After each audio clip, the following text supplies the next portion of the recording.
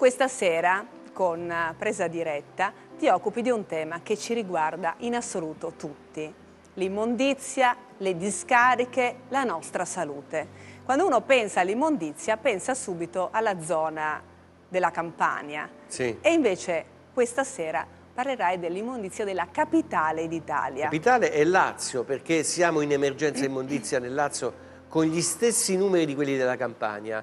L'unica differenza è che noi abbiamo una enorme discarica, la più grande d'Europa, che si chiama Malagrotta, che da 35 anni prende 4.500 tonnellate di rifiuti romani, ma quella discarica sta per chiudere, anche perché è uno scandalo internazionale. L'Europa ha aperto una procedura di infrazione perché in Europa è, è fuori legge una discarica così. Mm. Tu lo sai che in quella discarica l'80% di quelle 4.500 tonnellate che noi produciamo nella capitale è indifferenziato e finisce sottoterra, no? quindi stiamo parlando di una cosa che è, fuori, che è fuori dal mondo. La risposta naturalmente della Regione Lazio, sono tutti preoccupatissimi, perché se chiude Malagrotta succederà che quello che abbiamo visto a Napoli. No? Quindi adesso c'è un grosso piano, si, mm. si tratta di... È diventata una partita come a Napoli, anche in questo è come a Napoli, di emergenza, cioè la politica alza le mani, non è che dice fa un piano da qui a dieci anni per risolvere la cosa, la passa, passa la palla a un prefetto, il prefetto ha deciso due siti provvisori, uno a Ariano e uno vicino a Villa Adriana, pensa a 800 metri in linea d'aria dalla villa più bella la villa dell'imperatore Adriano, quindi come mettere l'immondizia dentro il Colosseo. Certo. Poi si parla di un'altra discarica definitiva e poi di altri inceneritori. Tu Riccardo però hai trattato, nel servizio che vedremo stasera, anche un problema gravissimo legato alla salute. Mi sembra che tu abbia scoperto dei, dei, dei dati abbastanza inquietanti. Beh sì, non li scopro io, li ho resi pubblici al, resi pubblici al grande pubblico perché che succede? Che una discarica è una bomba a orologeria. Comunque, per quanto tu la puoi gestire bene, il fatto di tenere una collina alta 46 metri, fatta di tal quale, di organico, questo organico si decompone, produce del percolato e non la puoi isolare per 35 anni, ma cosa vuoi isolare? Prima o poi finisce nelle falde acquifere, le falde acquifere arrivano a casa nostra e ci sono molte evidenze di aumento dei tumori, è stato trovato sul capello di una persona che è morta vicino a Malagrotta delle quantità di cadmio, diossina, metalli. Quindi diciamo noi dobbiamo andare verso un mondo in cui la discarica ci servirà sempre di meno e anche i termovalorizzatori e gli inceneritori. Allora, Esistono esempi, uno, eh? Esatto, quando uno dice queste cose dice sono sogni, sono sognatori. No, ti dicono che sei uno che ha fantasia. Non è vero, non è vero. In Italia abbiamo comunque delle realtà tante, dove, tante. dove, la raccolta differenziata si fa in percentuali molto alte da nord a sud. Sì. Voglio ricordare Salerno che mi sembra sia intorno al 70% di raccolta sì, ma poi c'è Pordenone, Cuneo, Assi, sono tanti comuni. Però dicono ma una città come Roma è impossibile, no? Esatto, 5 sì. milioni di abitanti, strade piccole, quartieri storici. Ebbene, non è vero, perché c'è una città enorme che è San Francisco, in California, fanno il 78% di raccolta differenziata senza inceneritori, il loro programma si chiama Rifiuti Zero ed entro il 2020 non vogliono conferire in discarica neanche un chilo.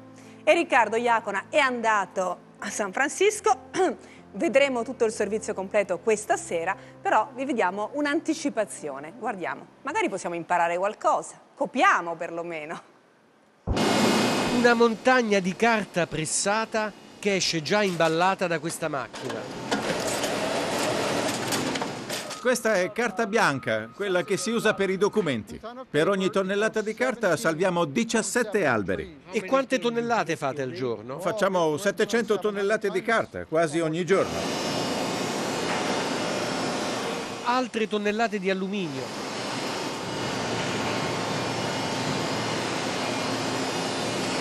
È tutto alluminio che viene dalle lattine. Sono tra i 400 e i 450 kg. Si vende bene? Molto, molto bene. Costa caro l'alluminio, perché da qui ci fanno nuove lattine. Quindi vendete carta, alluminio e poi? Ricaviamo almeno una dozzina di altri materiali. Tre tipi di carta, quattro di plastica. Come questa carta che vediamo, che adesso state mettendo sul container. E a chi la vendete? Loro si rivolgono a dei broker internazionali per vendere le materie prime. Quella carta sta partendo per la Cina. La ragione per cui cerchiamo di riciclare il più possibile è che vogliamo risparmiare le risorse e l'energia che servono per produrre gli oggetti. Tu pensa quanta energia, quanto materiale, quanto lavoro ci vuole per fare una bottiglia di plastica? Tantissimo. Se la bruci ne ricavi un 1%, quell'1% ci fa il calore, no?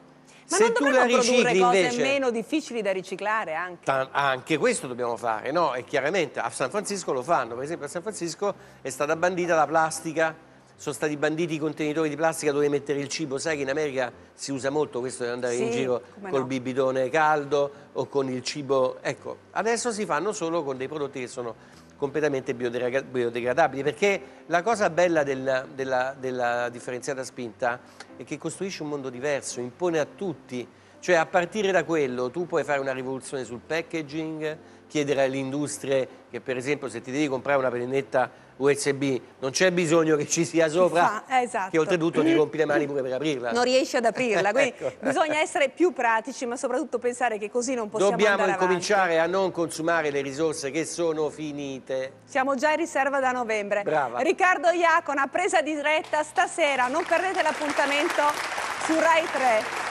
Grazie. E come abbiamo sentito a San Francisco i rifiuti diventano oro, oro davvero. In arabo oro si dice dahab e noi adesso vi portiamo in un territorio che si chiama proprio in questo modo, bellissimo. Partiamo.